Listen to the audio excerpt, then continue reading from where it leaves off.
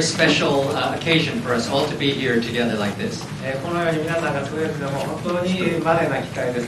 and this afternoon, I really don't have another uh, message uh, for you.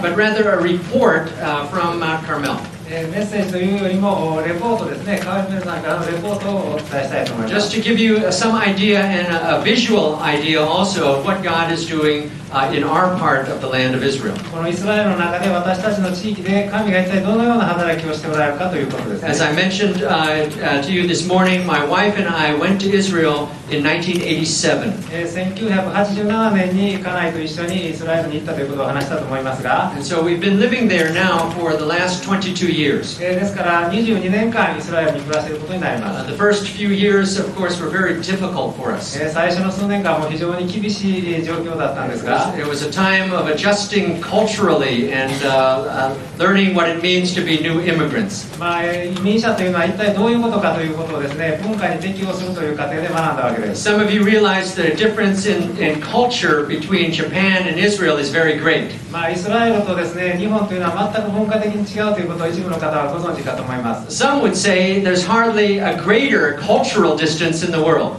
まあこれは多分ですね世界で最も大きい文化的な隔たりということが言えるかもしれません I've said that the difference between the culture of Israel and the culture of Japan is like the difference between silk and sandpaper. えーこれはですねですからイスラエルとの文化と日本の文化の違いというのはですね、えーヤスリ紙でサンドペーパーとき絹の布のような違いだというのが正しいかと思うんですが、In the beginning, it was difficult for us. えーですから初めは私たちは非常に困難な状況にありました And uh, in that in that period of, of adjustment, the Gulf War came, the first Gulf War in 1991. えーまあ、そういうですね適応している機会の中で最初の湾岸戦争があー91年に起こりまし As, as て new immigrants, we had to learn how to get gas masks and to seal our room and prepare for a possible uh, attack with weapons of mass destruction. ですから大量破壊兵器に対応するためにガスマスクの装着の仕方とかですね窓の目張りの仕方などを学んだわけです。It was a time of testing for us.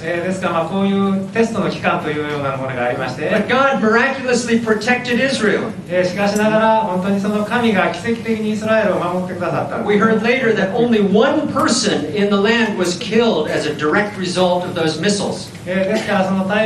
が来たんですがその結果死んだ人はイスラエルでは1人しかいなかったんです We also heard that the death rate in Israel went down during the Gulf War. えーそれなおかつですねその期間に湾岸戦争の期間はイスラエルの人の死亡率が下がったんですね、 If that's true, it's because Israelis didn't drive as much. えーそれはですねイスラエルの人があまり車を運転しなかったからだというふうに言えると思うんですが I think that proves that the only thing more deadly than a Scud missile is an Israeli driver. イスラエルの運転手の方がスカットミサイルよりもはるかに危険だということが分かりました But somehow, after that war, uh, Rita and I felt our roots were beginning to go down into the soil of Israel. えーそしてまあそのような経験を経て私たちはイスラエルの土にしっかりと根を下ろしていくということになりました And right after that war, the Lord teamed us up with another couple, immigrants like ourselves. えーそれその戦争の後でですね私たちは、えー他のカップルの人たちと共にえー出会いまして、A couple named David and Karen Davis. えーデビッドえーデイビス夫妻ですねデビッドさんとカレンさんと出会いました、We began praying together. えーそして共に祈りまして They were struggling to begin a drug and alcohol rehabilitation service for Jews and Arabs in えー our そして city. ですね彼らはですねユダヤ人とアラブ人双方のですね麻薬中毒者の回復施設を作ろうというふうにしてえー頑張っていたところだったんです out of those prayers in the spring of 1991, we began to hear the Lord say that we should start a new そ congregation. して1991年の春にですね、えー神から、えー新しいコングリゲーション教会を起こしなさいという 名刺を受けました、 So, in the next 20 minutes, I'm going to show you some pictures and tell you a little bit of our story. えーですからこれらのことについて少しですね今からスライドで、えーお話をしたいと First, 思います first of all, this is, the, this is a map of our region. This is the Muslim world and Israel. えーこれがですね私たちの地域の地図なんですがこれは要するにモスラム海峡都の人たちのおとイスラエルの絵なん I'm です sorry for the, the way the, the computer has uh, done the letters. えーわ and put the eye of Israel on the first イ line. スラエルというのは非常に見づらいので愛が消えちゃっているんですねイスラエルの愛が1行目のあ愛が向こう側に行ってるんだ Okay, so this is the Muslim world in Israel. Can you see Israel? えー皆さんイスラエルという国が見えますでしょう Is- かこの中 Israel で is the country in blue. えーこれみ青でですねイスラエルという国は表示してあるんですがご覧になれますでしょうか Let me help. Let's go to the next slide. えーですから次のご覧になるん Okay, ですがあああれ there's Israel. あれがイスラエルなんですね So you have to understand that our life in Israel, to a certain extent, is impacted daily by this fact えーですからこの事実によって私たちの日常生活は強い影響を受けております that we are a, a tiny little country geographically, まあ非常に地理的に見ても小さな国なんですが、surrounded by about 1 billion Muslims. えー1億人ぐらいのですねじゃあ10億人ぐらいのえー海教徒に囲まれているイスラム教徒に囲まれているんです、And the truth is, as Israelis, we feel this pressure every day. えーそしてこのプレッシャー圧力を我々はいつも毎日感じております、But in spite of this, the nation is growing and becoming stronger. えーしかしながらその条件にもかかわらず我々の民族は成長しておりまして強くなっております、Economically, えー経済的にも、we are developing. えー私たちは本当に開発が進んでおりますし、Socially, we're also developing. えーそしてえー社会的にもいろんな形で発展しております But of course, most importantly, the messianic remnant is growing. えーしかし最.も重要なのはメシアニックの残された者たちが今イスラエルで成長しているというこ Let's と go to で the す、next slide. えー次のスライドに Okay, this is a, a, map of modern Israel, and uh, here is a uh, where we're located in the city of Haifa. We're on the northwest coast of the Mediterranean, about 40 kilometers south of Lebanon.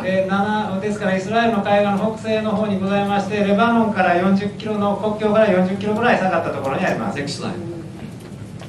Uh, Haifa is a city that's built on a mountain, and the mountain is called Mount Carmel. えーそしてハイファという町はカルメル山という町を山を中心に作られている町であります Mount Carmel is the mountain where the prophet Elijah confronted the false prophets of Baal. えーそしてですね、まあ、カルメル山というのはエリアが、えーバールの預言者たちと争ったところなんですね、 And it is still a place of spiritual confrontation. えーそして今でもそのか霊的な戦いが行われている場所なんです You know, the story of Elijah's confrontation uh, is a story of national revival. えーそしてですね霊的なその戦いの結果エリアの戦いの結果国民的なリバイバルが起こったということを皆さんご存知だと思いますが、The prophet of God who had the word of the Lord, えーその預言者が神の言葉を持ちに持っておりますと、he had to stand against three major groups in his own nation. えーそして自分たちのその3つのお民族の中の大きなグループとに対して立ち向かったんですが、Elijah was opposed by Ahab, his king, and the government.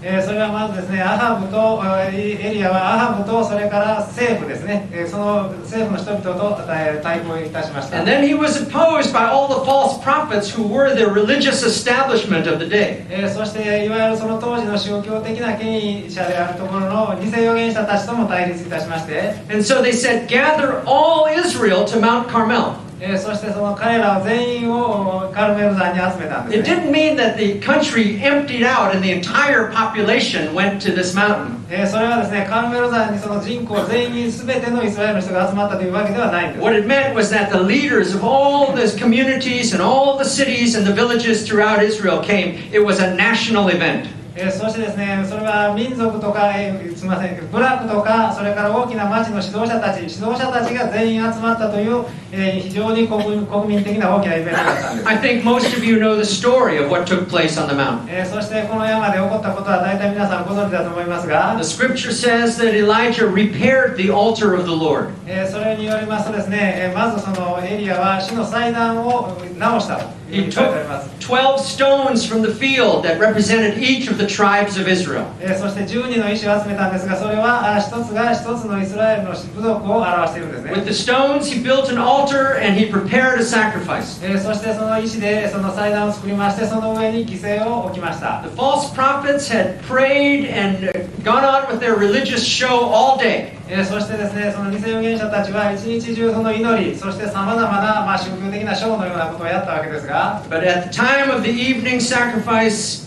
the prophet Elijah prepared his altar. えーそしてそれからその後でですね夕夕方のお犠牲の時間になりましてエリアは自分の祭壇の準備をいたしまして、prayed a brief prayer of faith, えーそして非常に短い信仰ある祈りをしたんです and then the fire of God fell and consumed the sacrifice on that altar. えーそしてその天から火が降り注ぎましてその祭壇の上のものは全て焼き尽くされた、When the people saw the fire of God fall from heaven, えーそして天から神の火が下ったのを見た時人々は it says all the people fell fell on their face and they said, The Lord, He is God. The Lord, He is God.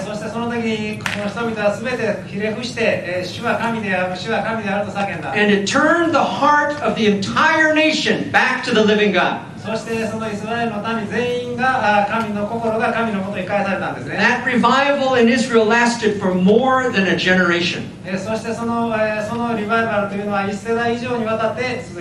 The prophet Elijah raised up disciples. They created schools of the prophets on Mount Carmel. and, that, and the presence of God remained in the land for years. I believe it's a picture of national revival not just for Israel but it could be for Japan. これはイスラエルだけではなく日本にも適用される国民的リバイバルの条件であるというふうに私は考えています。Fact, the prophet Malachi says that he will send, God will send again that spirit of Elijah before the great and terrible day of the Lord.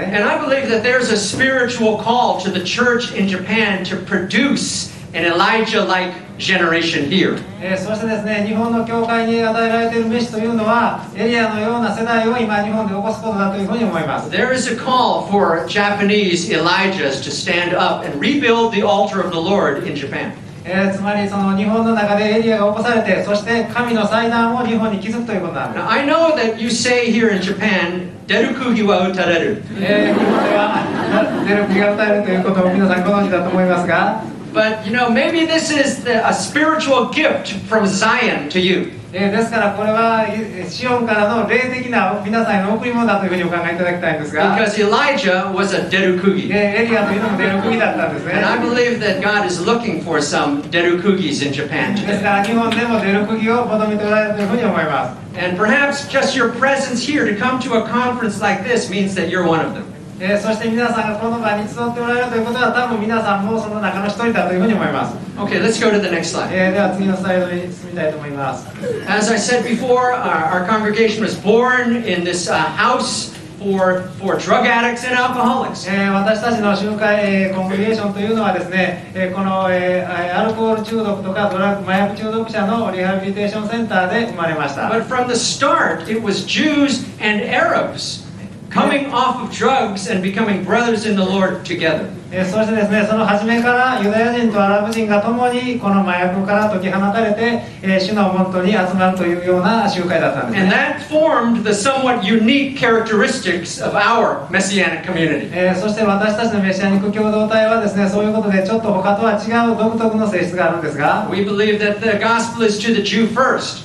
えー私たちはそのユダヤ人に初めにですね福音が伝えられるべきだということを信じております、But it is also to the Arabs. えーしかしながらアラブにも伝えられなければならないというふうに思っております、And we have seen God uh, do some uh, miraculous things in our midst. えーそして私たちのところでですね神が非常に奇跡的なことを行っておられます Next slide.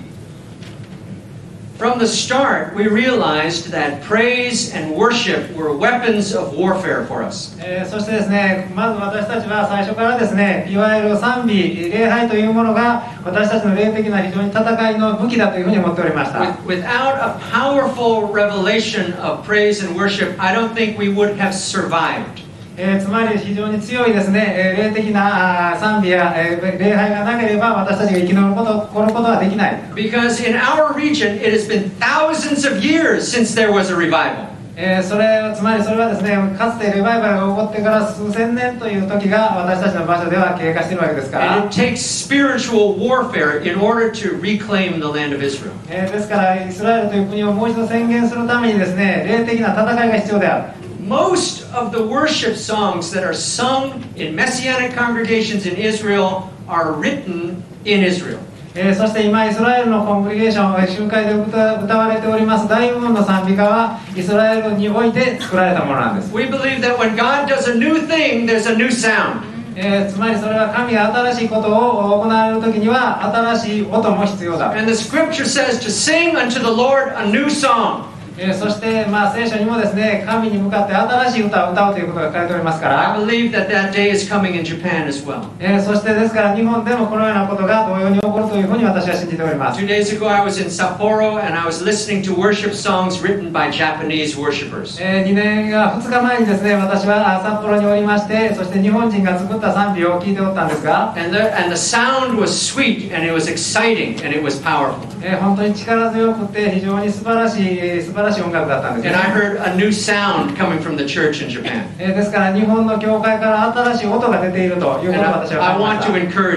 えーですから皆さんにもぜひそのことをお勧めした We い、have a national worship song movement in our country. えーですから私たちは、えー国自分たちの国民的な賛美の歌を作ろうという運動をしておりまして Every year, the worship leaders of all our congregations gather nationally to share their best songs. えーそしてですね毎年一度お賛美のリーダーたちが国中から集まってですね会議というか自分たちの最高の作品を聞かせ合うんです And ね then those songs are shared and sung all over the country. えーそしてですねそれで皆さんこうそのことをどうぞ使ってくださいということでみんなで分かち合う It す、serves to unite us as a movement. えーそしてそのことによって本当にこの私たちの運動が進んでお And りま these す、songs inspire our young people. えーそしてその新しい歌がまた新しい若者たちにえー刺激を I 与え believe る there's a special warfare spirit in so many of our songs. えーですからそのような歌によって本当にその戦いのための準備ができるわけですね slide. This is a, a picture from our uh, Shabbat worship, worship service. えーこれがですね安息日土曜日の礼拝の様子なんですが We are an immigrant population. Our service is interpreted into Hebrew, Russian, Arabic, as well as English. えーですから私たちの礼拝はですね多くの人機関者がおりますのでヘブライ語とロシア語とアラビア語と英語という形で通訳が行われているわけですね of、course, being a messianic congregation, dancing is very important. えーそしてメシアニックのコングリゲーション集会では非常に踊りっていうのは大切でありまして I'm sorry ス we can't stop them from dancing. えーまあ、えーなかなか踊りが終わらないということがあるんですが Next slide. Okay, some years ago we were uh, privileged to build an altar for the Lord on Mount Carmel. えーまあ、私たちはその数年前にですねカルメル山の上で、えーにこの街道主の祭壇を作るという、えーことができまして、We believe this is a call to the, from the Lord to uh, us as a congregation. えーそしてつまりこれはあ神が私たちに命じられたことだというふうに感じてこのことをやったんですが、Um, along the way, we've been privileged to participate in the planting of other congregations. えーそしてですね他のコングリゲーションの成立設立にもいろんな形で関わらせていただいております、 Uh, Eitan Shishkov came alongside to uh, strengthen us for, for a while. えーまあ、エレタン・シーコフさんも私たちのところでしばらく手伝っていただきましたし、Now, of course, he has his own community, daughter and granddaughter えーそ community. してエレタン・シーコフさんが自分のコングリゲーションを持ってから新しいその子や孫たちのコングリゲーションを作ってお We られる have んですね helped two Arabic, con- Arabic speaking congregations to start. えーそして私たちはあのアラブ人のコングリゲーションが設立するのを2つのアラブ人コングリゲーションが設立するのを手伝いまし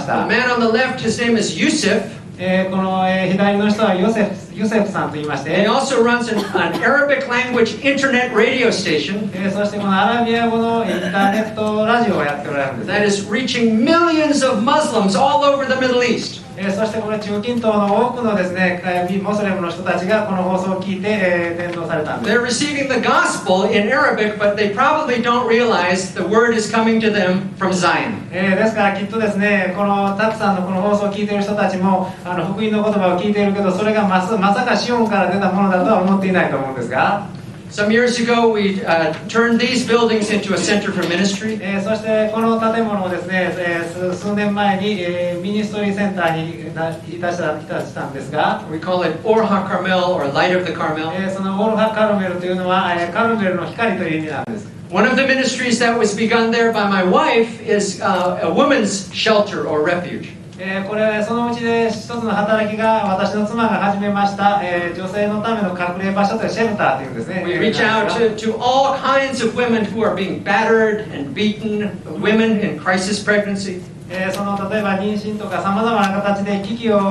困難な状態にある女性を助けるという働きを始めているんです And more recently, the Holy Spirit uh, indicated that we should start to care for refugees coming into the land of Israel. えーそしてその中でですね私たちがその難民をイスラエルに来た難民を受け入れなさいという聖霊からの導きを受けました The scripture commands us to love the stranger who comes into our midst. えーそしてその聖書がはっきりと命じておるのはですね、えー見知らぬ人訪問者たちがやってきたらその人たちを大切にしなさいと So we began caring ね for women and children coming from Darfur and Sudan, escaping the genocide in Africa. えーそして、まあ、イスラエルスーダンの方でですね民族根絶の危機にあっているところの人々その難民たちを受け入れるということになりました、Two weeks ago, we baptized 11 of them. えーそしてその中の、えー11人を私たちは先週洗礼を授けることができました Reaching out to these poor and helpless Africans has given us great favor in Israel. えーそしてですねイスラエル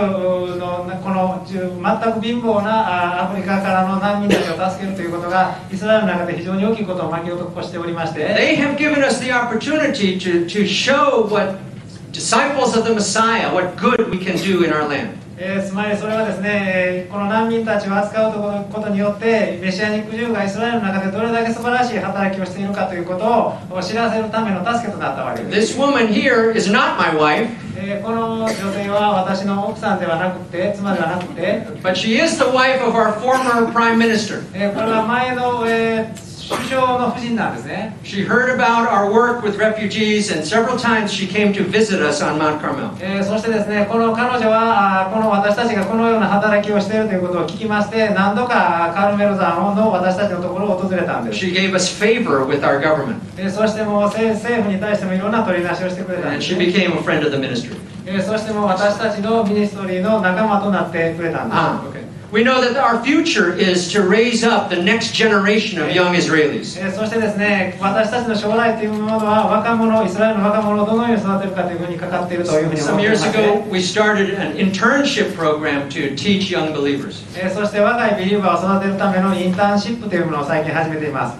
One of their assignments is we take them to the desert and send them out all morning. えーそして、まあ、その一つのやり方はですねこう荒野に彼らを連れて行きましてそしてその朝の間ずっと彼らをこうその中に置くわけですね、Their assignment that morning is to find a burning bush. えーそしてその燃える芝あこの燃える芝を探しなさいということを命じるわけですが We want them to learn to hear the voice of the living God. えーそつまり神の言葉を聞きなさい生ける神の言葉を聞きなさいということ And by the way, the desert is a great place for that. えーでもしかしながら荒野というのは確かにそれに向いている場所なんです Okay, here's uh, another of the a number of ministries here reaching out to youth in our village. えーそしてその私たちの村の中でも多くの人々のために若い人たちへの伝道活動が行われております We also have places where we distribute clothing and we distribute food to the needy in our city. えーそしてもう貧しい人たちのためにですね、えー食べ物とか着るものとかをわ渡すというサービスもしております Finally, uh, we have a school that is designed for Christians like yourselves from the nations. えーそして諸国民のため皆さんのような人々のためにですねクリスチャンのためのコースというか働きもしております It's a two week uh, intensive immersion into Israel where you see our country through the eyes of the local believers. えーそしてそれはですね2週間の間集中的にイスラエルの中を旅しまして、えー地元のビリーバーの観点からイスラエルを見るというツアーな So んです we teach you on Mount Carmel and then we also take you for a tour, a teaching tour of our nation. えーですから、まあ、カルメル山でしっかりとこう学んでいただいた後で、えーずっと旅行のような形でイスラエルの中を旅するわけですね。This woman is my wife, えーこの人が私の妻なんですが、lighting the Shabbat candles at one of our uh, school occasions. えーこれはもうこのスクールのやっている時にですね学校の中で安息日のろうそくをつけているとこ So ろです、when, when you come to visit us, we'll take you we'll, to prayer walk the Temple Mount. Here we are teaching with the, with the Mount of Olives in the background. Here on the Syrian border. これはシリアとの国境地帯ですね。Next slide. Um, one week before I came on this trip, we launched our newest ministry. その新しいミニストリーを開始いたしました。And here we began a Hebrew speaking congregation.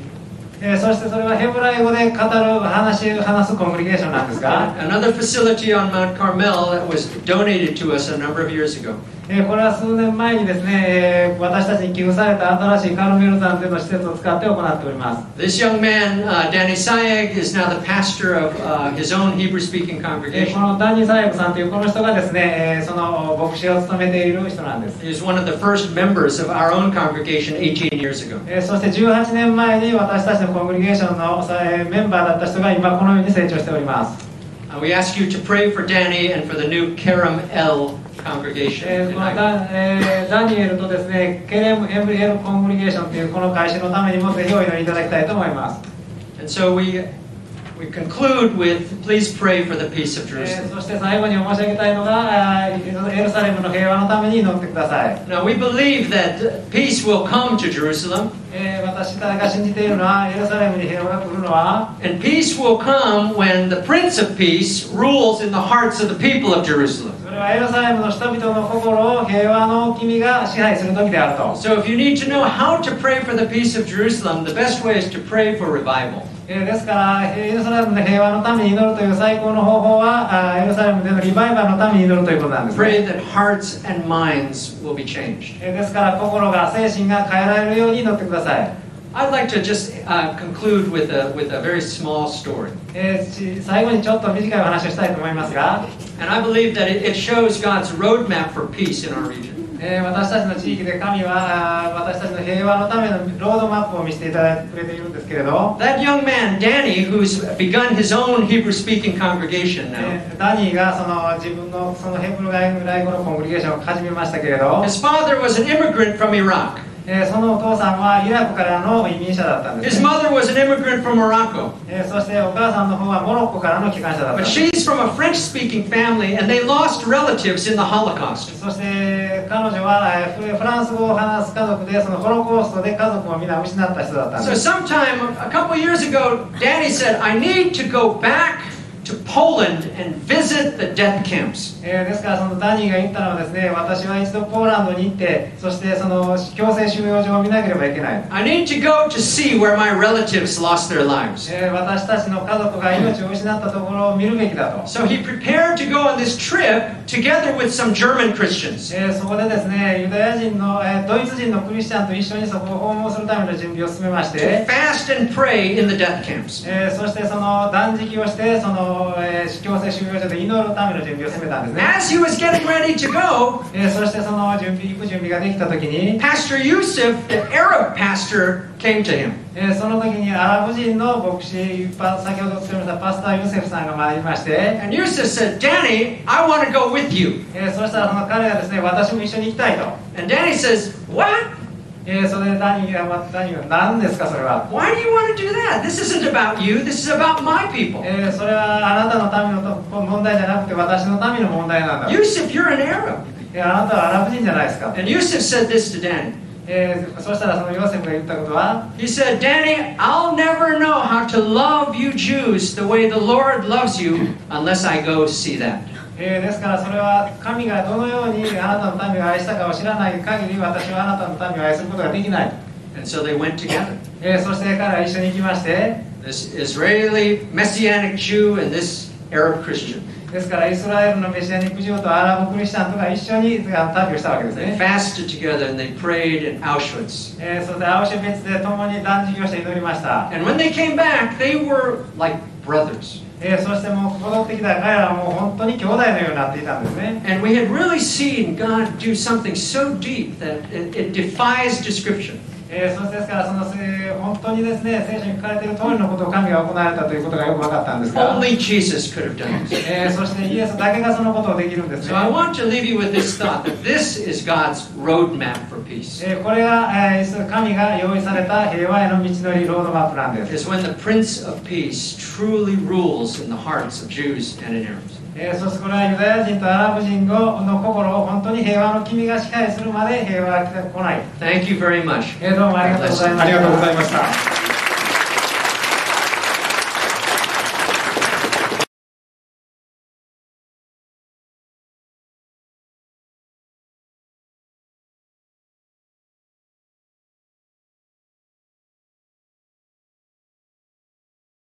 おはようございます。Shalom, shalom. 部屋がありますように It's uh, a great privilege and an honor to be with you. 皆さんと共にいられおられるいることができることは本当に特権であり光栄であります I'm truly excited by this opportunity. この機会に本当に、えー興奮しております、 I want to acknowledge my gratitude to our hosts, えーこの、えーこ会議を おホストをしてくれている皆さんにか感謝 and し the たいと思います ministries of SKK, 聖書研究会の皆さんに、 Bridge from Japan to Israel, えーシオンとの架け橋の皆さんに ICJE, またあ LCJ の皆さんに Joy of Zion congregation, えーまたあシオンの喜びの皆さんに and many churches and ministries represented here そしてここにはたくさんの教会の方々がいらっしゃっています from a number of nations in Asia. またアジアのさまざまな国々から You are greatly honoring us by being here. 皆さんここに来ることによって来られることによって私たちに本当に敬意を表してください。皆さんすでに意義深い方法で今神様に会っておられます。またですね、特にまたですね、ピーター・ツカヒラ先生とここに一緒にいることができることは本当に喜びであります。実はですね、えー私私たち夫婦はピーター先生とリタさんリタさん夫婦を通して、えーハイファの地区地区に住むことができたんです And uh, since we've known each other for over 35 years, I've been dreaming of this day for that whole time. 私たちはですね35年間お互いに知っておりますですけどもこのような日が来ることを本当に夢見ておりました With Joseph Shulam sensei, I share a Bulgarian heritage. またですね、えーヨセフ・シュラム先生と私は実は、えーブルガリア系ということで、えー同じ、えー背景を持っております And when I was a young Messianic minister in America, I heard about him. 私がですねアメリカに住んでおりましてメシアニック人のリーダーリーダーをしていた時に、はいヨセフ・シュラム先生のお話を聞きました I heard that there was an Israeli believer in Jesus who was leading uh, our people. そして私は聞いたんですねイスラエルにはイイエス様を信じているリーダーがいて私たちの民を今導いているんだと聞いたんです So I honor him as a pioneer in our movement. ですから私はヨセフ先生を私たちの働きの開拓者として尊敬したいと思います I agree with what Joseph said earlier. ヨセフ先生が先ほど先、えー言われたことに、えー同意いたします I see this gathering as something uh, like the ancient meetings これはまさに、えー古代にかつてあったような会合であると思います when kings and delegations would meet one another from different nations. さまざまな国の、えーす国々の王たちやえー代表者たちが集ま集まるような集会です And they formed covenant alliances. そしてそこで契約的な同盟を結ぶのです That's what we're here to do. そのために今今日私たちはここにいるのです We're here to build deep relationships of trust. 私たちは今日深い信頼の関係を結ぶためにここにいるいるのであります So I ask you to open your hearts ですから皆さん心を開いていただきたいと思います during the time that we're speaking, 私たちが話している時に as we're praying and worshiping, また祈る時に礼拝する時に because we want God to do a lasting work. なぜなら私たちは神様に永続する働きをしていただきたいからです。私たちは永遠が私たちの心に触れることを願っているわけであります。なぜなら私たちに私たちは信じております。これから非常に重要な日々が来ると。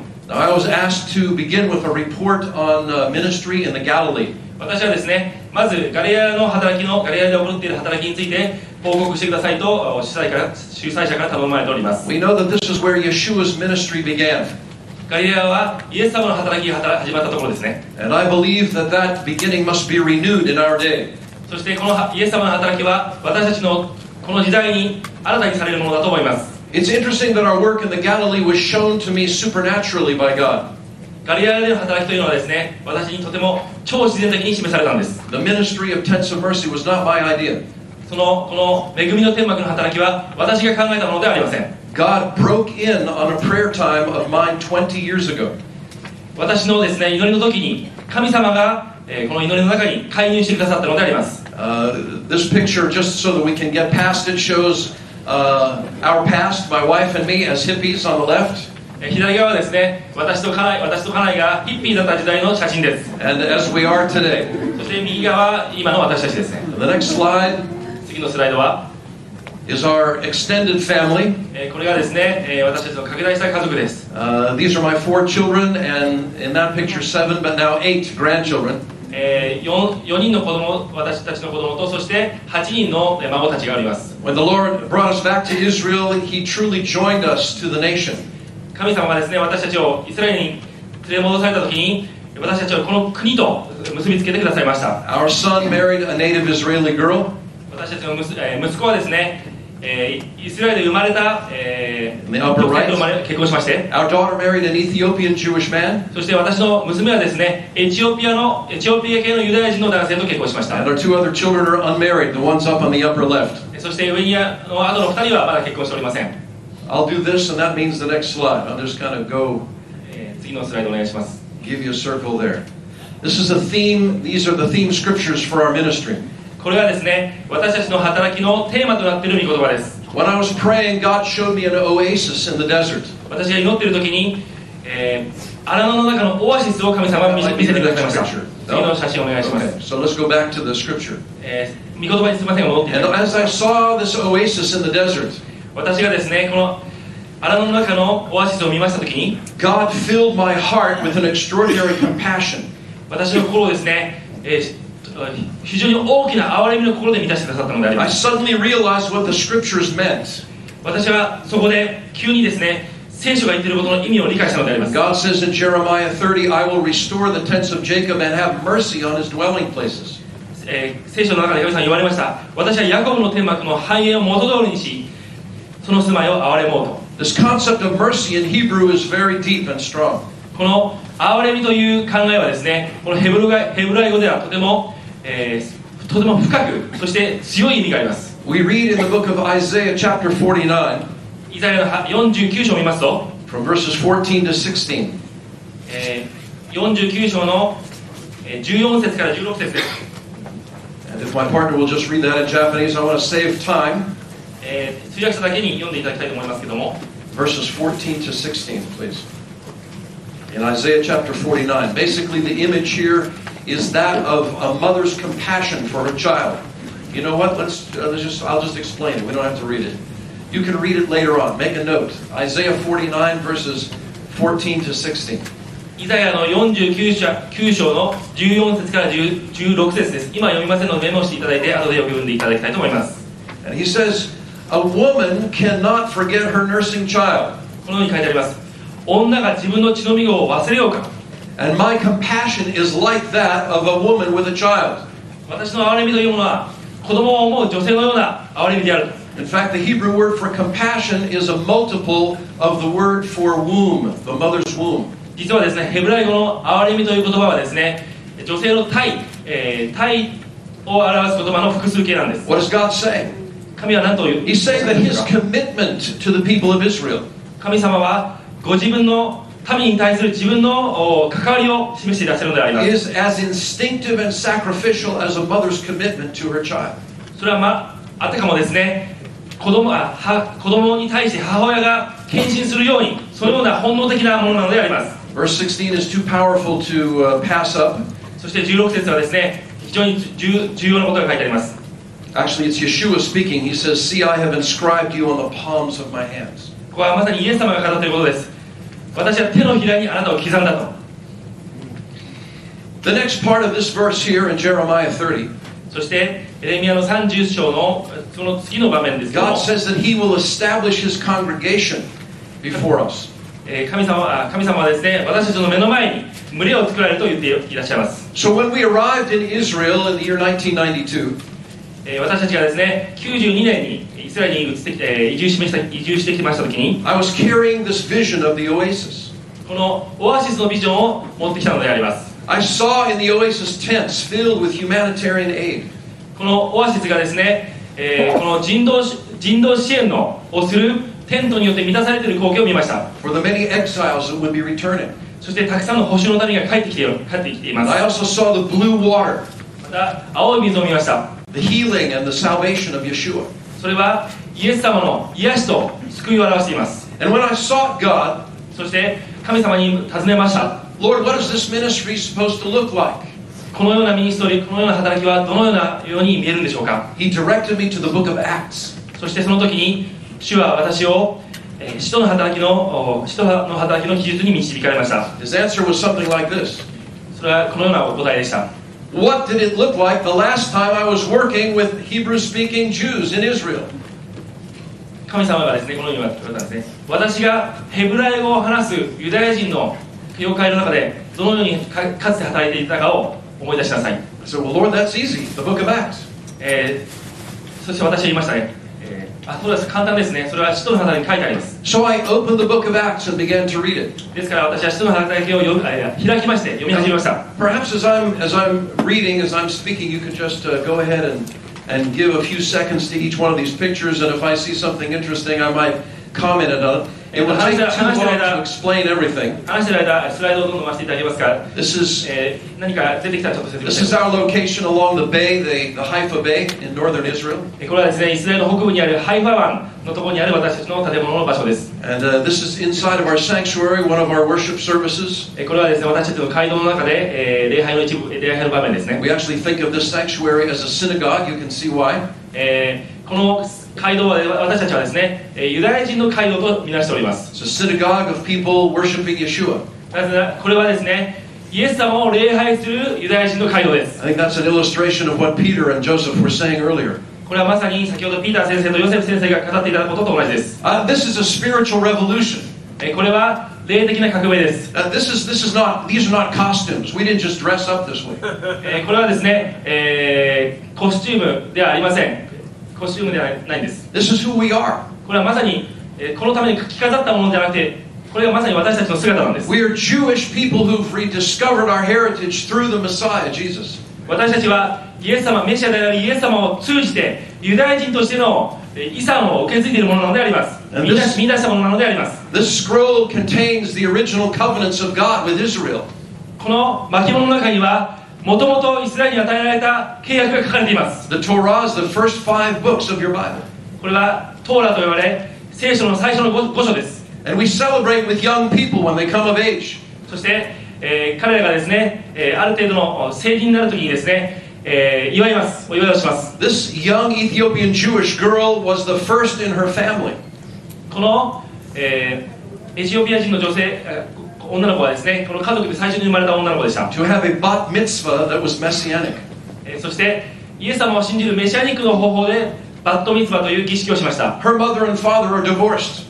この彼女のお父さんとお母さんは離婚しました in large part because of her mother's faith in Yeshua. それはですねなぜかというとこの人の彼女のお母さんのイエス様を信じる信仰のゆえが大きかったんです But when the father came to this ceremony, ですけども彼女の父親がこのバットミツバの儀式に来ました時に he said, I never realized there was such a connection between Jesus and Jewishness. 彼は言いましたイエス様とこのユダヤ生徒にはこんなに関係があるとは私は知らなかった This is, this is the outreach that's going on. これこそが私たちが今の前の前で行われている伝道なんです It's a testimony that has to return to our people これは私たちのために戻らなければならない証なんです that Jesus does not push us away from our Jewish heritage, イエス様は私たちをユダヤ人の伝統から追いやるお方ではありません but he restores it イエス様はそれを回回復される方です in the power of his Spirit, 主の精霊の力によって in the freedom of his grace, そして恵み恵みの自由によってです and brings us together with you. そしてそれは私たちをあなた皆さんと一つにします Let's continue. 続きましょ In the book of Acts, we see a pattern of life. う人の働きにはある生活様式が書かれていますけれども life. それはえー人々が水でえーバプテスマを受けます In this pattern of life, new congregations are planted. そしてその中では新しい改宗が作られていきます In this, con- in this pattern of life, uh, people are helped. そしてこのその生活様式の中では人々は助けを得ます Uh, and we believe that the, the key to the future of Israel is in our youth. 私たち信じておりますイスラエルの将来の鍵は若者であると Why don't you come back to that one of the, uh, the Israeli girl and the African girl? These two young women are actually from Peter, uh, Peter Sensei's congregation. イスラエルの女性とアフリカの女性ですねこれはピーター先生の会教会のおメンバーです、Uh, the girl on the, on the left is a daughter of Danny Sayag, this new pastor. えーこの左の側の女性はですね、えーダニー先生の娘さんです And the girl on the right is one of the Sudanese refugees that Peter Sensei's wife is taking care of. そして右側の女性はですね、えーピーター先生の奥さんが奥様が助けているスーダンからの難民の女性です And they were both on a, uh, a camp that we run nationally for teenagers in Israel. これはですねえー私たちが、えー国家的に、えー国ま国家的に国全体でイスラエルのイエス様を信じる若者のために、えー催した集会で集会での会ってる集会で、えー会っている人たちです Because most of Israeli society does not understand who we are. なぜならほとんどのおイスラエルの社会の人たちはですねメシアニック人の私たちを理解してくれないんです They do not think that Yeshua is relevant in their lives. イエス様が彼らに関係すると思ってないんです But our young people have grown up in Israel. そしてその社会の中で若者たちは育ちます They speak local Hebrew. そして、えーその地元のヘブライ語を話します They serve in the army, そして、えー軍隊でも働きます go through the schools. そして学校に行きます And so they are taking their places in society. ですから彼らが、えー社会の中で、えーその立場をどんどん増やしていくわけです to communicate Yeshua to our people. 私たちの民にイエス様を伝えるために And as I'm looking out on you, わ私が皆さんを見ますと this must happen in your nations also, mustn't it? このことはですね、イエス様を信じるということは、皆さんの国でも行わ,け行わ,け行わ,行わなければならないことですね。神様が皆さんのことを私を通して励ましたいとなさっていることたいと思います。皆さんの皆さをですね、若者を育てるのに投資をしてください。All this was an, average during the youth camps. これは若者のですね、えーそのキャンプの時の伝道し伝道です Keep on going. All right, now we're going to have a series of pictures that show help to the needy. えー次にですね、えー困っている人を助ける場面助けるものについて写真を見せたいと思 We い read in the book of ます Acts that the people shared what they had with each other. 人の働きを見ますと人々が持ち物を分け合って助け合ったと書いてあります Yeshua himself said, Let them see your good works and glorify your Father in heaven. イエス様が言われましたあなた方の良い行いを見て人々があなた方の手の父を崇めるようにしなさいと One of the ways that we're making Yeshua known is by helping where, where Israel needs help. 私たちがイエス様を伝える一つの方法はですね、えー困っているイスラエル人を助けるということです、It seems strange, but there are hungry people in Israel. えー皆さんおかしいと思われるかもしれませんけど実はイスラエルには、えー食べ物がなくて困っている人がいるんです all three of our ministries are involved in feeding the hungry. そして私たち3人はですね皆、えーその食べ物がない人を助ける働きをしております、We have soup kitchens now in Haifa and in Nazareth. えーハイファとナザレでスープキッチンと呼ばれる、えー食料の供給の働きをしております that are serving over 3,000 hot meals a month. そして温かい食べ物をお1ヶ月にですね3000人の方々に、えー差し上げております、Distribution of food, distribution of clothes, えー食べ物を配布したりまた furniture and appliances. 衣服や家具や、えーいろんな備品をお配布しております There's also an outreach to uh, women with unwanted pregnancy to counsel them not to have abortions. またですねえー望望まれ望まぬ妊娠をしてしまった人をですねカウンセリングをして助けるという働きをしております This is actually my son-in-law here giving out a, a care package during Passover. これはですね義理の息子あ向こうでです向こうでですね、えーえー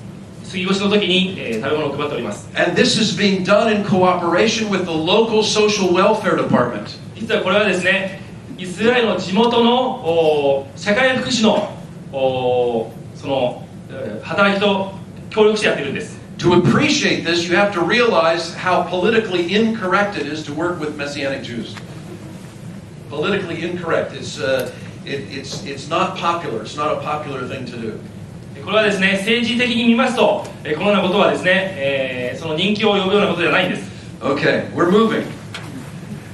Uh, there is a serious problem with prostitution in Israel. イスラエルではですね非常に、えー深刻な売春の問題があります I, I'm, I'm sorry to tell you, maybe this will disillusion you. You can't call it the Holy Land very easily anymore. えー皆さんこれで幻滅させるかもしれません、えー聖地に来るのをですね、えーこばあの来た来たくないと思う思うかもしれません、Uh, but many of these women are doing this out of economic necessity. えーしかしですね多くの人がそのような売春をするのはですね、えー経済的に困っているからせざるを得ないんです And a woman in our congregation raised up a ministry to reach out and to rescue them. 私たちの改宗の女性たちはですねこのような困っている女性たちに手を差し伸べて助け出す働きをしております Some of these women are coming to faith in Jesus そしてそのような女性の中のある人たちはイエス様を信じるようになります and being discipled そして弟子訓練を受けます and being set free. そして自由にされるんです And it's affecting their families. そして自分の家族に影響を与えるようになります Uh, one young woman has joined our congregation as a result of this. その結果としてですねある若い女性が私たちの会衆に加わられました This is reaching out to the needy. これは、えー困っている人たちに手を差し伸べの伸べる働きで In す fact, the leader of the ministry has testified before our parliament about this problem. 実は、えーある人がですね、えー国会で、えーその働きの証しをしましてくれました、As you can tell, I am excited えー分かっていただけるように私は本当に興奮しております because we must enter into our societies. なぜなら私たちは自分たちの社会に入り込んでいかなければならないからです And as kingdom believers, address the problems. そして私たちは神の国を信じる者としてえー問題に問題をに直面します This is our area in Israel. これは私たちのイスラエルの地域です、 And as the original apostles also sent out teams, えー最初のですね人たちが、えー宣教のチームを送られたように、 we have been excited to see what happens えー私たちはですね今起こっていることに興奮しております when you raise up young people and send them out. 若い人たちを育てましてそして送り出すのであります The yellow circle uh, is where the mother congregation あの is 黄色い located. 黄色い丸はですねその母教会の場所です And the arrows represent the new congregations that have been planted out of the mother. そしてこの母母の教会からですね矢印のところに、えー新しい教会があー開拓されていったの In です fact, there's a, already a reproduction 見見ますと分かります再生産が行われております because the Haifa congregation planted the, the, the, the work in Nazareth. なぜならですねこのハイファのえー改宗がナザレの改宗を生み出したからです from Nazareth, there's outreach to nearby Migdal HaEmek and Afula. そしてナザレからですねエフラとかミグダルというところに From Akko, there's outreach to Ma'alot and to Carmiel. 伝道されておりますしまたアッコからも別のところに伝道が今行われております And near the shore of the Kinneret of the Sea of Galilee, there's Poria, Elite. そしてですね Doesn't matter. Okay. Here's what's happening 今これが行われています God is restoring apostolic faith in Israel. 神様は今イスラエルにおいて人的な信仰を回復されているんです We, I, I don't, it doesn't matter to me about the label apostle. That's not what I'm talking about. 私はですねその人という名前についてこだわっているのではありません The word means sending out. その言葉の意味は実は使わすという意味なんです And this is the nature of faith that God has given us. これこそが私たちに神様が与えてくださった信仰の性質です If the Messianic community is being resurrected in Israel, イスラエルでメシアニック中のお教会が、えー復復活するときに then it should repeat the pattern of the book of Acts, shouldn't it? そしそしたらそれはですね人の働きにあるパターンが回復されるべきでありますね繰り返されるべきでありますね that's what's happening. これがまさに起こっていることです God is also raising up the ancient ruins. また神様はですね、えー過去の、えー古代の、えーその廃墟を回復されています This is a celebration of our five congregations together, actually on Mount Carmel. これはですね、えー実はあのカルメ山カルメル山の上で5つの改宗が集まって祝っている場面ですけども And I want to say that uh, the, the prophets spoke of this resurrection. えー私はこのことを語りたいと思います預言者はこの復活について語っていました they spoke of this restoration. この回復について預言者は語っていたんです Just as we read in the book of Jeremiah, chapter 30, verse 20. えーエレミア書の30章の20節で読んだ通りです And I will establish my congregation again. 私は私の改宗を再び立てよう Now, I want to touch on some prophetic scriptures.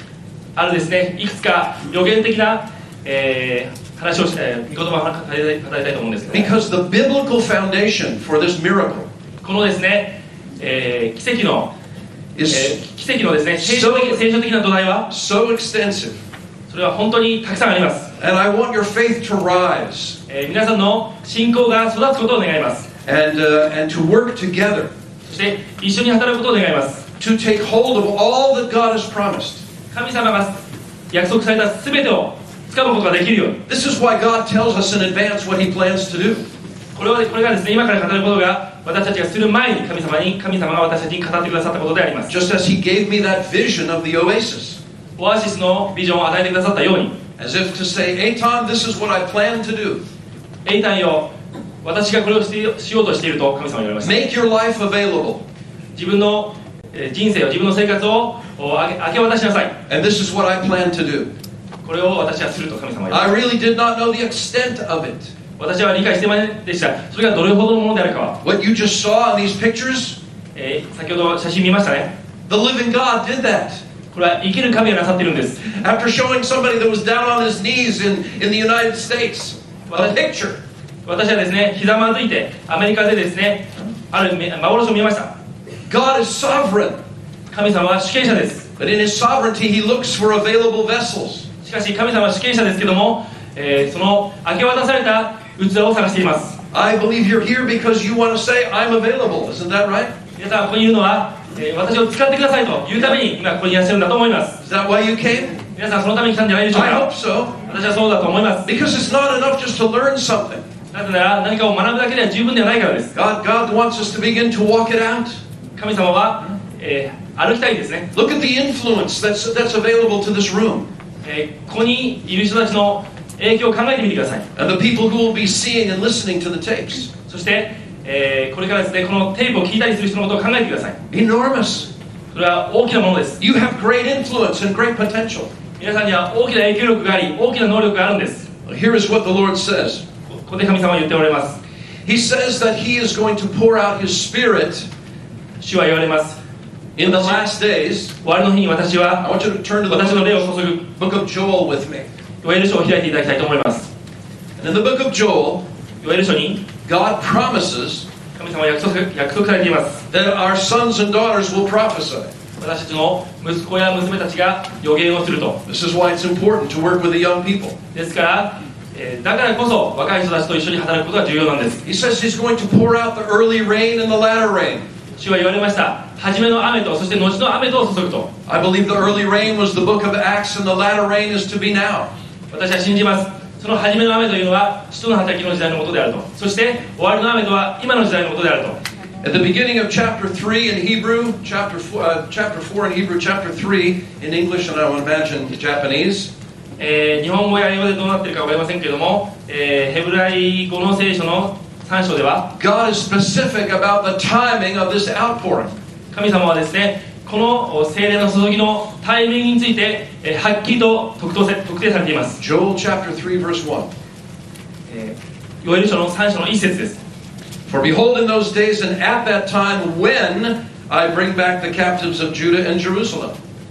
見よ私がいざとエルサレムの繁栄を元取りにするその日その時と書いてあります、All the promises that preceded that えー多くさまざまなですね約束がその前にありますけども are only to be fulfilled when we're back in the land. その約束が実現されるのは私たちが So, 国に戻されて初めてそうなるんです、as both of my brothers have taught today, えー私たちの兄弟たちが今日語られたように the return of the Jews to Israel,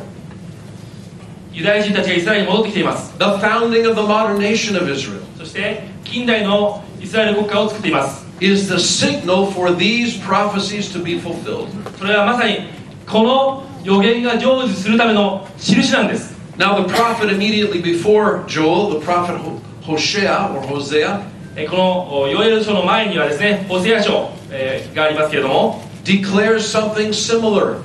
似たようなことを同じようなことを宣言しています in chapter 3, verses 4 and 5.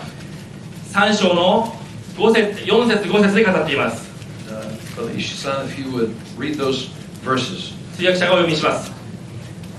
よホセア書の3章4節5節。それはイスラエル人は長い間王もなく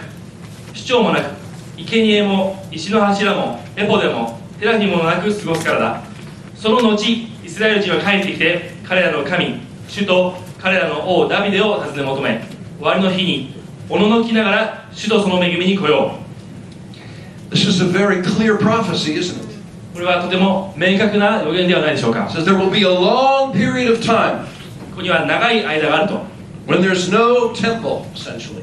Doesn't Eh. use the word temple, but no sacrifice. ここに神殿ということは書いてはありませんけどその神殿ですねそして犠牲のシステムがないような時代 No 長い priest, no priesthood, no kings. また王も祭司もいないような時代が来ると But after this long time is up, しかし この長い期間が終わった後 the people of Israel will return. イスラエルの民が帰ってくる。And what will happen then? そしてその後何が起こるんでしょうか They will seek their God.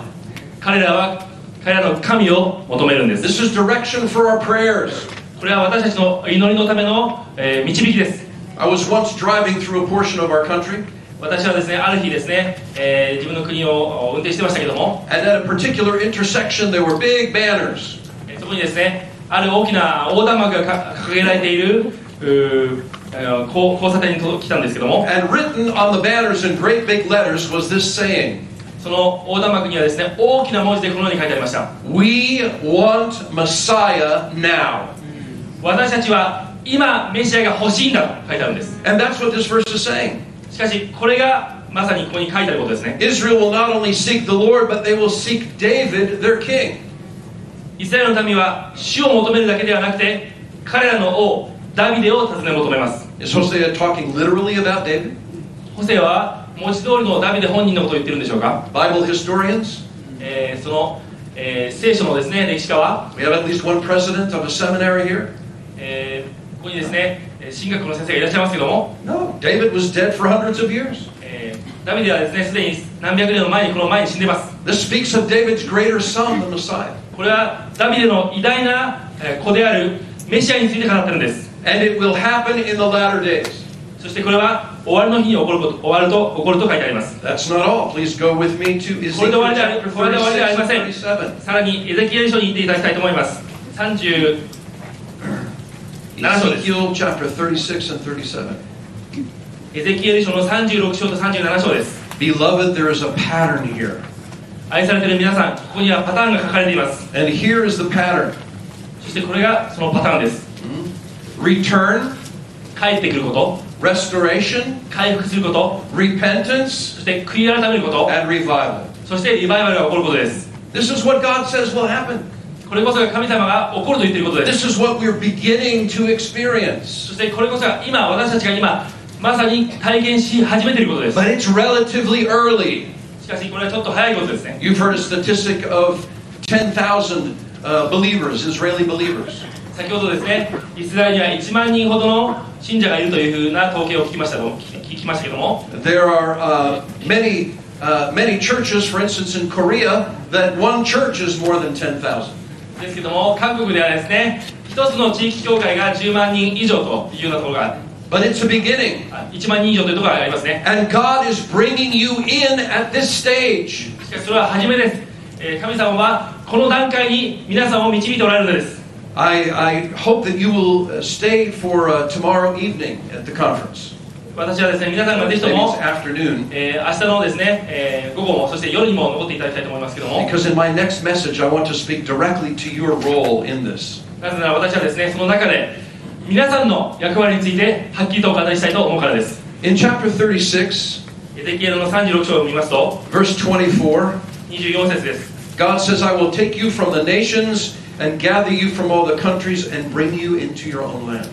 私はあなた方を諸国の民の間から連れ出し全ての国々から集めあなた方の地に連れて行くと書いてあります That's the return. これが期間です帰ってくることです He says, I'll sprinkle you and I'll cleanse you from all your filthiness and idols. そして25節私が清い水をあなた方の上に振りかけて注ぐ時あなた方は全ての汚れから清められる私は全ての偶像の汚れからあなた方を清めると書いてあります That's the restoration. これは回復です I will give you a new heart and a new spirit, and I will take the heart of stone out of you and give you a heart of flesh. そしてあなた方に新しい心を与えあなた方のうちに新しい霊を授ける私はあなた方の体から石の心を取り除きあなた方のあなた方に肉の心を与えると書いてあります That is the repentance. これはこれは悔い改めです Verse 27 I will put my spirit in you and cause you to walk in my statutes, and you will keep my judgments and do them.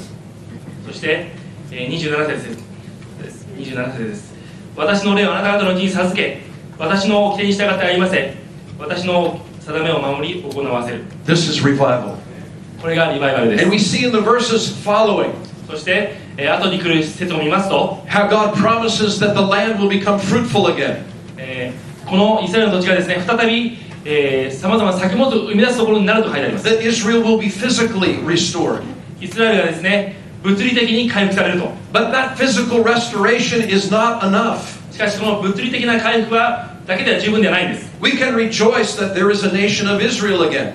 私たちはもちろんイイスラエルの国が今あることは喜びますあることを喜び喜びます that there is a, a government in Jerusalem. エルサレムに政府があることを喜びます But that is not the primary reason that God brought us back from the nations. しかしそれは、えー私たちが国々から呼び集められた、えー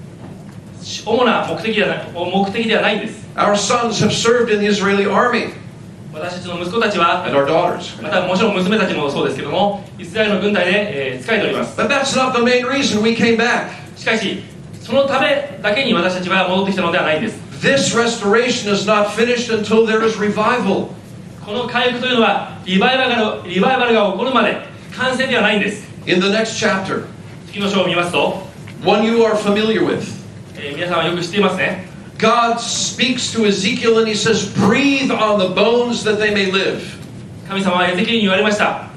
えー息に向かって予言しなさいそうすれば彼らは生き返ると The word breath and spirit and wind are all the same in biblical Hebrew. It's ruach. 聖書のヘブライ語でですね息も風も霊も同じ単語なんですねそれはルアという言葉なんですけども When God caused Adam to become a living thing, he breathed into his nostrils. 神様がアダムのアダムに息、えーを生かした時にですね鼻に息を吹き込め吹き込められましたけども The same verb is used in Ezekiel 37. その同じ言葉がエゼキエルの37章で使われているんです I once tried to raise a man from the dead. 実は私はある時ですね実際に死んだ人を生き返らせようとしたことがあります He was a member of our congregation. 私たちの教会のメンバーでした、He had died from a brain tumor. えーその脳腫瘍で亡くなったんです A young man in his 30s, 30代の若い男性でし a た lovely wife, and two daughters. また、えーえー美しい、えー奥さんとそして娘さんたちがいました I and others had fasted many days. そして、えー私たちは断食を何日もしました We were in his bedroom. そして彼の寝室にも行きました We were crying. そして泣きました We did not want to release him. 彼に彼に 去ってもらいたくなかったんです Knowing the stories in the Bible 皆さんは聖書の話を知ってますね of prophets 預言者の話です、who laid upon dead bodies and breathed into them, えー死んだ人をですね、えー横たわらしてそこに息を吹きかけたかけた預言者の話です I did the same thing. 私はそれと同じことをしました I was desperate. 私は本当に必死だったんです I had nothing to lose. 私は何も何もそれ以上失うものはありませんでした The man was already dead. その男性はすでに死んでいました It didn't matter if I made a fool of myself. 私がたとえ愚かに見えてもよかったんです And after I blew breath into him, そして私は息を彼に吹き込みました、 I would love to tell you that he rose up, えー彼は実際生き返りました but he did not. と言いたいですけども生き返ることは He remained dead. 彼は死んだままでした、 Now he was a believer, so I'll see him in heaven. 彼はですね、イエス様を信じる人でしたから、私たちは天で会うことができます。ですからですね、天に行ってですね、私が彼を生き返らせたということについてですね、良いその笑い話になると思いますけども。Why do I tell you this story? どうせどうして私はこの話をするんでしょうか？To show that it is humanly impossible to raise the dead. それはですね、人間的には死んだ人を蘇らせるということは不可能だということです This resurrection of Israel このイスラエルの復活は不可能です is a supernatural act of God. これは神様の超自然的な働きです It is God who raises the dead. 死人を蘇らせるのは神です A central prayer of Judaism declares this as well. そしてですね実はユダヤ教の祈りの中でもこのような祈りがあるんですけども Mechaye metim, he raises the dead. このお方は死者を蘇らせるお方だという祈りで This す is the God whom we serve. このお方が私たちの使える神です And he is working now そしてこのお方は今働いておられるんです to blow life back into the body of Israel. このイスラエルの体に再び息を吹き込まれるために What will this include? その中には何が含まれているでしょうか？Look with me at Ezekiel chapter 37, 30エゼキエル書の37章を一緒にお読みしたいと思います verse 24. 24節です David, my servant, shall be king over them, and they shall all have one shepherd. They will also walk in my judgments and observe my statutes to do them.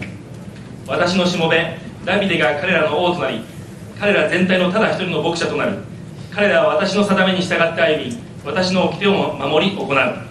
They will dwell in the land, and David will be their prince forever.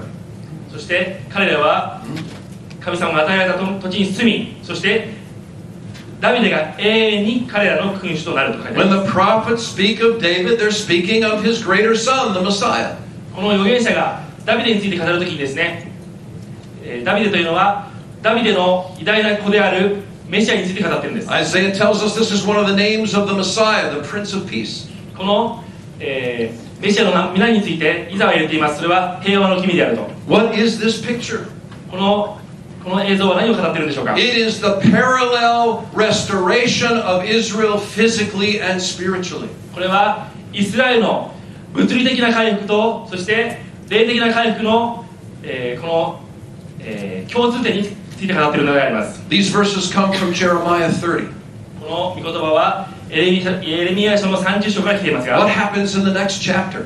その次の説に次の章には何が書いてあるでしょうか The next chapter describes our return to Israel. 31章はですね私たちのイスラエルのへの帰還について書いてあります It says that we will come weeping. 私たちは泣きながら帰ってくると書いてあります I remember landing at Ben Gurion Airport on November 12th, 1992. 私はですね自分が、えー1992年の11月にベングリオン空港に I felt my eyes filling up with tears. 来た時のことを覚えております私の目は涙で溢れました How many generations my family had waited to return to Israel. My family had waited many generations to return to Israel. 私の先祖は何世代にもわたってイスラエルに帰ってきたかったんです And here I was, しかし私はここにいます this American former hippie believer in Jesus, 元ヒッピーだったアメリカ人のイエス様を信じている私がここにいます landing with my family, 家族と共にここに上陸しました three children 3人の子供と共に and a pregnant wife. そして、えー身ごもっている家内と一緒に Jeremiah actually talks about that. He says, Your women will return bearing child. エレミア書にはまさにそのことが書いてあります身重の女が帰ってくると And we arrived and we settled in the land. 私たちはそこに着いてそしてその土地に住み着きました And God has blessed us. 神様は私たちを祝福してくださいました But when you look later in the chapter, しかしその後ろの後ろの方を見ますと there is a striking connection between this return to Israel and the new covenant. そこにはここにはですねイスラエルに帰ってくることと新契約新しい契約との驚くべき関係が書いてあります As quoted in the book of Hebrews, ヘブル人への手紙に引用されていますが Jeremiah 31 31. それはエレミア書の31章の31節の御言葉です says, The days are coming when I will make a new covenant with the house of Israel and the house of Judah. 見よその日が来る主の見告げその日私はイスラエルの家とユダの家とに新しい契約を結ぶ Maybe that doesn't impress you,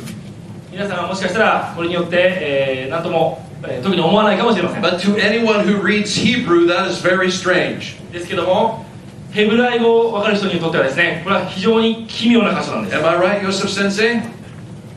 ヨセフ先生そうですよね Okay? It, it says in Hebrew that God is going to establish or cut Brit Chadashah.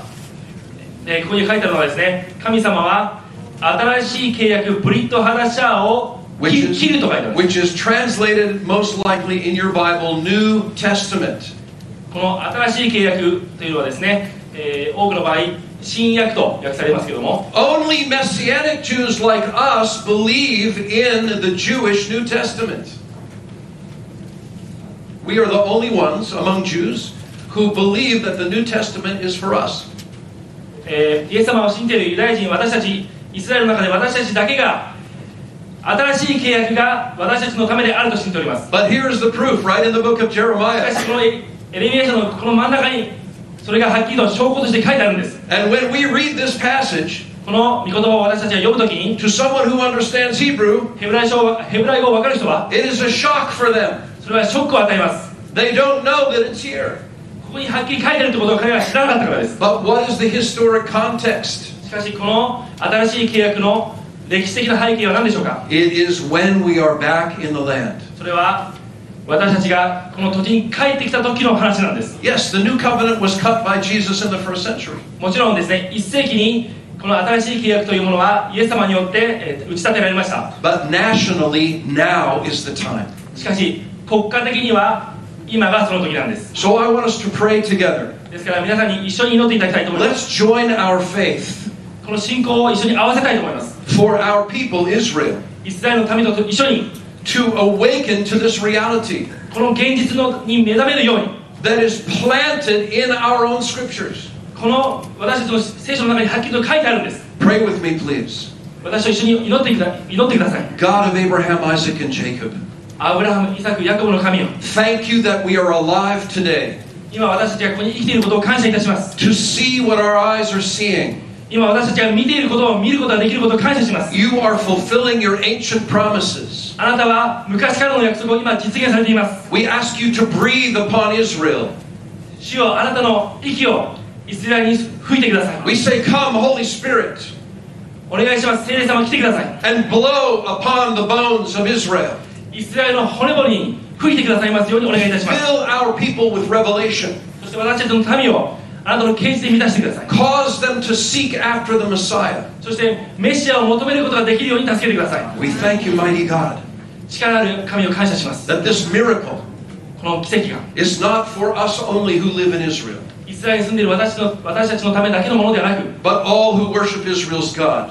イスラエルの神を礼拝する全ての人のためのも through のであ his ります Son, the Messiah, 御子であられるメシアを通して in whose name we pray. このお方の名前によって私は今お祈りお祈りいたします。ありがとうございました。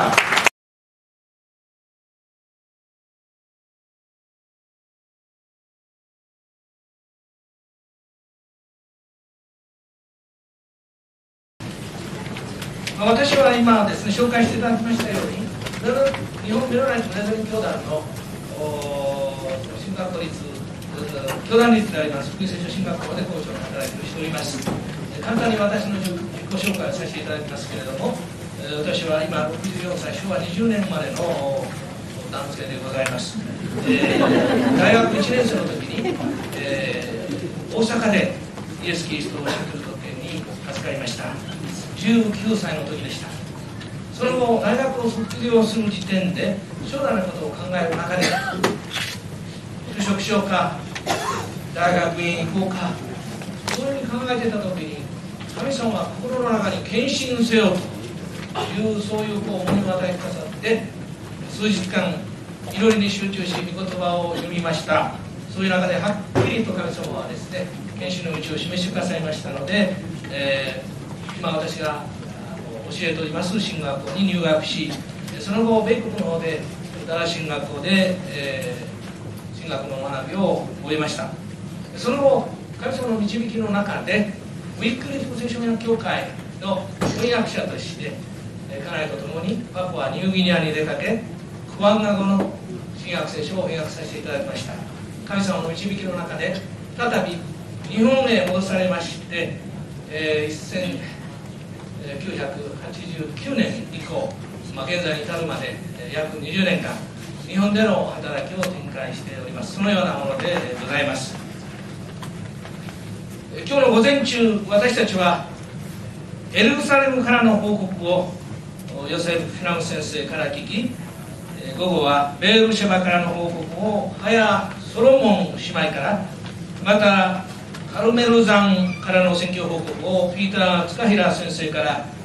そしてガリラヤからの選挙報告をエイタン・シンコフ先生から聞くことができました。ハレルヤ感謝です、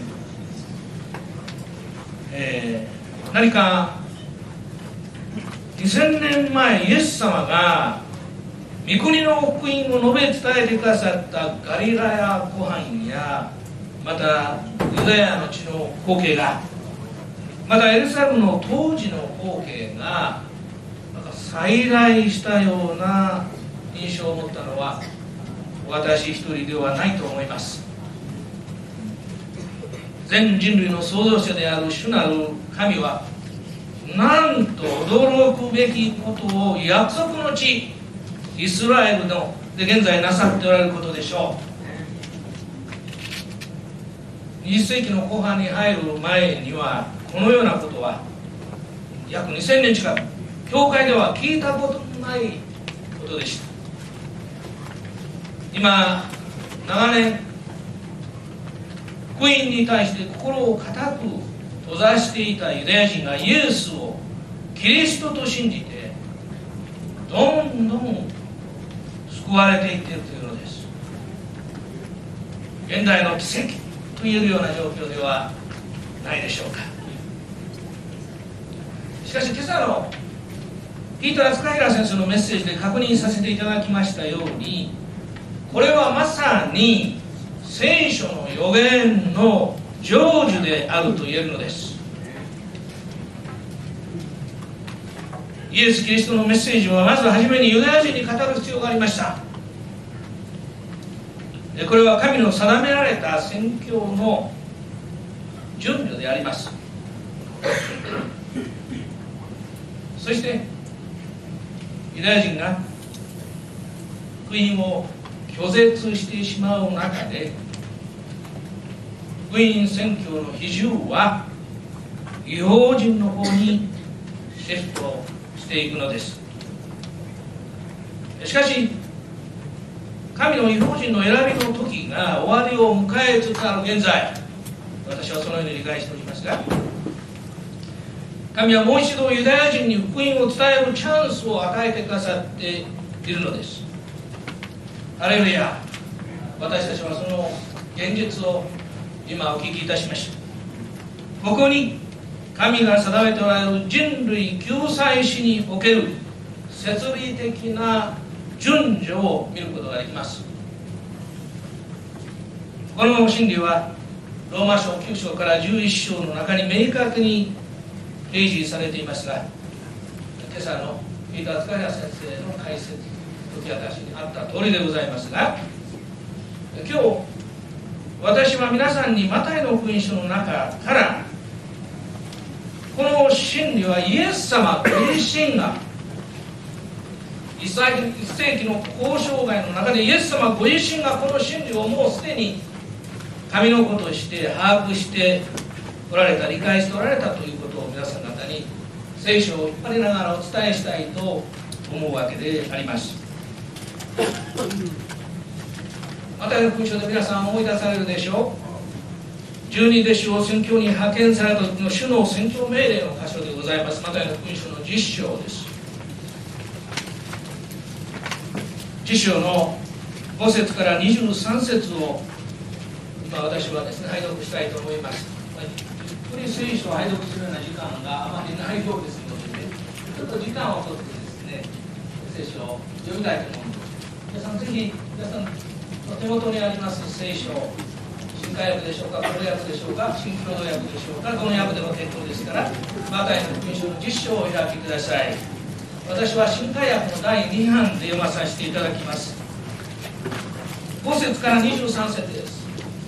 当時イエス様が語られたその時からですね、この御国の福音の戦場がどのように展開していくか、イエス様がですね、一つのパノラマをここで示してくださっているんですね。再臨に近い状況までイエス様が語っておられるということを皆さんぜひ読み取っていただきたいと思います。それではマタイの福音書10章の5節から23節を読まさせていただきます。イエスはこのこの12人を使わしその時彼らにこう命じられ違法人の道に行ってはいけません。サマリア人の町に入ってはいけません。イスラエルの家の滅びた羊のところに行きなさい。行って天の御国が近づいたと述べ伝えなさい。病人を治し死人を生き返らせ来病人を清め悪霊を追い出しなさい。あなた方はただで出たのだからただで与えなさい。胴巻きに金貨や銀貨や銅貨を入れてはいけません。旅行用の袋も二枚目の下着も靴も杖も持たずに行きなさい。働く者が食べ物を与えられるのは当然だからです。どんな町や村に入ってもそこで誰が適当な人かを調べてそこを立ち去るまでその人のところにとどまりなさい。その家に入る時には平安をいろいろ挨拶をしなさい。その家がそれにふさわしい家ならその平安はきっとその家に来るしもしふさわしい家でないならその平安はあなた方のところに行きます。もし誰もあなた方を受け入れずあなた方の言葉に耳を傾けないならその家またはその町を出ていく時にあなた方の足の塵を払い落としなさい。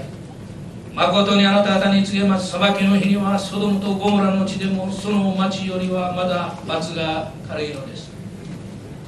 いいですか？私があなた方を使わすのは狼の中に羊を送り出すようなものです。ですから蛇のように悟る鳩のように素直でありなさい。人々には用心しなさい。彼らはあなた方を議会に引き渡し街道で鞭打ちますから。またあなた方は私の家に総督たちや王たちの前に連れて行かれます。それは彼らと異邦人たちに証しをするためです。人々があなた方を引き渡した時どのように話そうか何を話そうかと心配するには及びません。話すべきことはその時示されるからです。というのは話すのはあなた方ではなくあなた方のうちにあって話されるあなた方の父の御霊だからです。兄弟は兄弟を死に渡し父は子を死に渡し子供たちは両親に立ち逆らって彼らを死なせます。また私の名のためにあなた方は全ての人々に憎まれます。しかし最後まで耐え忍ぶ者は救われます。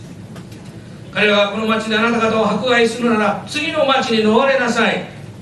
というわけは確かなことをあなた方に告げるのですが人の子が来る時までにあなた方は決してイスラエルの町々を巡り尽くせないからです。特に23節を繰り返しております。皆さん私はこれが現代のイスラエルの状況であると理解しております。彼らがこの町であなた方を迫害するなら次の町に逃れなさい。というわけは確かなことをあなた方に告げるのですが人の子が来る時まであなた方は決してイスラエルの町々を巡り尽くせないからです。この文脈から2つの大切な洞察を確認いたしましょう。その第一はここにおけるイエス・キリストの宣教命令の歴史的な範囲は初輪の交渉外の時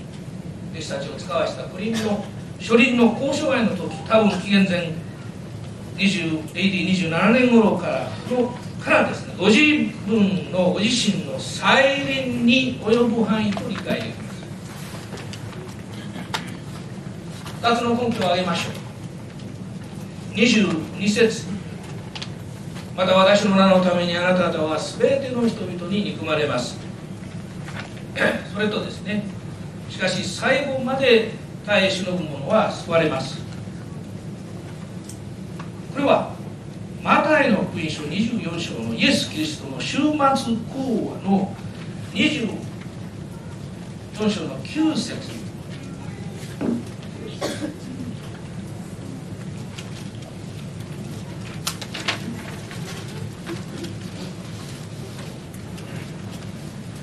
また24章の13節にこうすると多くの福音主義神学者が理解しているんです。であでありますからその22節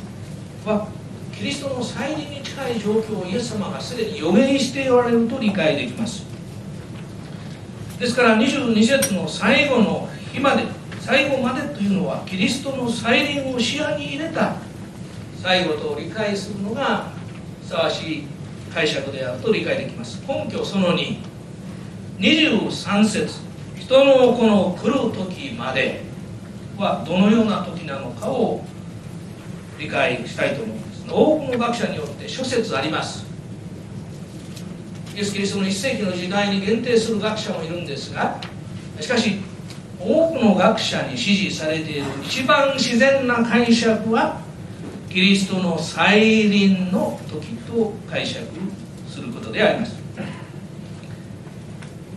この立場は先ほどの根拠1と呼応してるよく呼応していると思うのです。第二の洞察ですがこのイエス・キリストの宣教命令の宣教対象すなわち誰に福音を語るかはですねユダヤ人から始まっているんです。そして違法人に向かっています。そして最後はまたユダヤ人の町々村々での宣教のことが記されているんですよ。これは神様の宣教順序なんです。根拠が3つぐらい、まあ、たくさんあると思うんですが主な根拠が3つあると思います。その1 5節6節をご覧になってください。イエス様は最初に弟子たちに命じられました違法人の道に行ってはいけません。サマリア人の町に入ってはいけません。イスラエルの家の滅びた羊のところに行きなさい。によってまず福音はユダヤ人に紹介されるよう定められていたことがそこから分かります。この優先性は例えばイエスの復活後の人の働き一章八節にあるお言葉しかし精霊があなた方に望まれる時あなた方は力を受けます。そしてエルサレムエルサレムユダヤとサマリアの全土および地の果てにまで私の証人となります。にもその優先性を見ることができると思います。またバルナワとパウロがその宣教旅行の中でいつどこに行ってもまずユダヤ人に伝道しそしてその後違法人に向かっていったそういう事実を見ることができます。